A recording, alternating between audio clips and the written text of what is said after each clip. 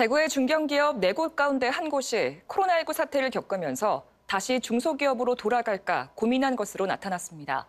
대구 상공회의소가 중견기업 41곳을 조사한 결과 24.4%가 정책적 수혜를 위해 중소기업으로 회기를 검토한 적이 있다고 답했습니다.